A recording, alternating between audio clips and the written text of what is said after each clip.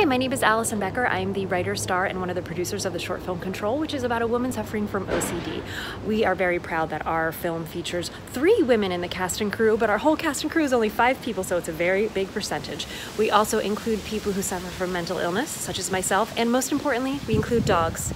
Can't forget the dogs.